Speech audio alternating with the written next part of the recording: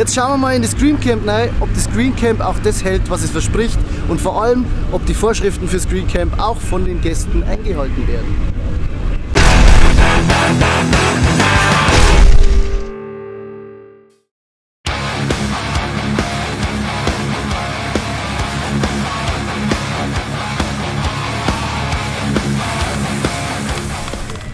Warum genau seid ihr auf dem Green Camping? Ähm, wir waren die letzten Jahre auch öfter mal hier und ich fand schon ganz gut, dass ähm, das Glasverbot so eingehalten wird.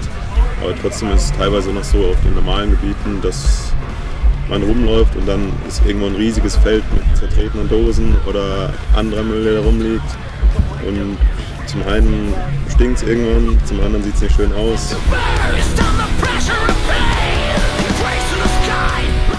Warum seid ihr auf dem Green Camping? Weil wir keine Lust auf irgendwelche Asi-Nachbarn mit Bergen von Müll hatten. Jawohl. Und die Ja. habt ihr hier definitiv nicht. Nee, bis jetzt noch nicht.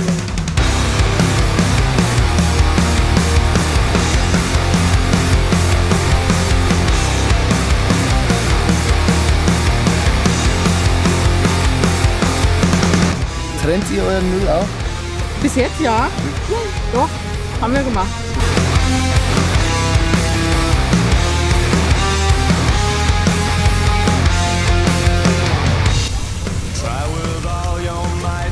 Der Beweis, dass man auch am Green Camping grillen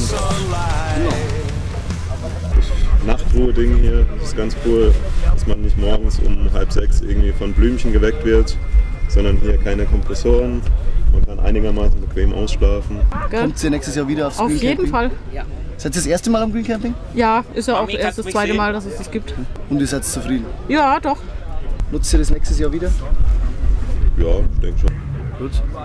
Jetzt habe ich mich persönlich davon überzeugt, wie das Green Camping ausschaut und die Leute sind echt sauber. Der Platz ist sauber. Der Müll wird strikt getrennt, so wie es sich gehört am Green Camping. Der Weg ist zwar ein bisschen weiter, aber da haben die Leute kein Problem damit, denn immerhin ist es ruhig man hat, und man hat keine nervigen Nachbarn. Mir gefällt es da.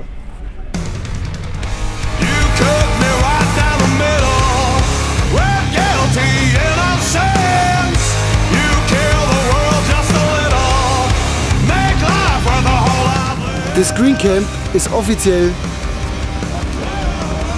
Ziffler gebucht.